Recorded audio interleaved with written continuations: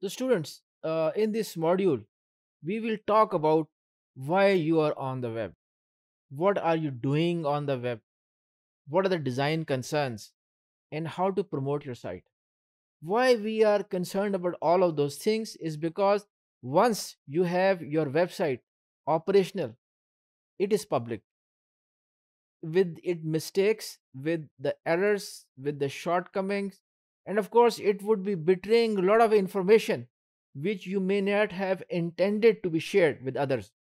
So, you have to be careful about all of those things. So, let's look at the module coverage. This is the module coverage I have already told you. Now, let's go into more detail.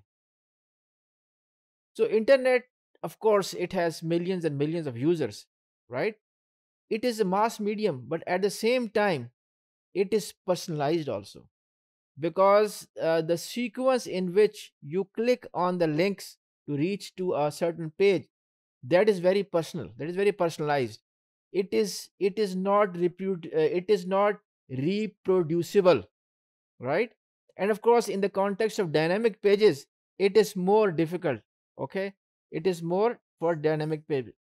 Then there is the diversity about the visitors. The visitors come from different background, from different areas, and why they are on your page is because they are there, they share a common interest.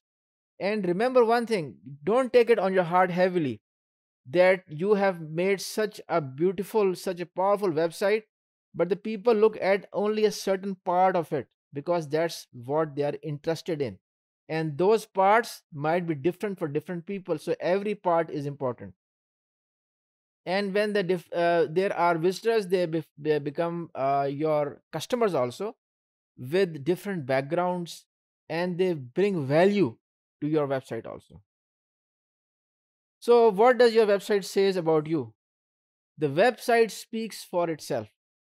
You may not be directly mentioning something right? But the your colors your fonts what you are writing how you are writing the pictures and all those things which we have discussed in lot of details in the initial modules of this course all those matters. And remember good manners matter and good manners result in good business. Remember that. Then is the perception. Uh, uh, perception will betray the information about the concern depending so for example if your website or you have a movie database right? It it will reflect upon where that database links are displayed or what other links are displayed on your movie database. If it's about the minorities if it's about some other uh, non-profit organization maybe your movie database is concerned about all of them. But having those links display or convey or generate a certain perception which may not be good for your business. You have to be careful about it. And don't assume that you have created a, a neutral environment okay? Don't assume that. That is an incorrect assumption. Why? Because by the, just the virtue of coming on the internet okay you are making a statement right? You are already making a statement.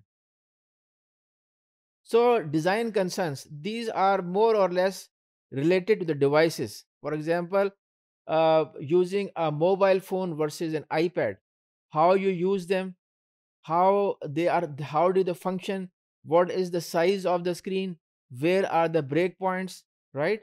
And how your content should adjust to the screens, how your content should be displayed while somebody is making a call okay or uh, watching a movie and doing something else and where does your content should fit in?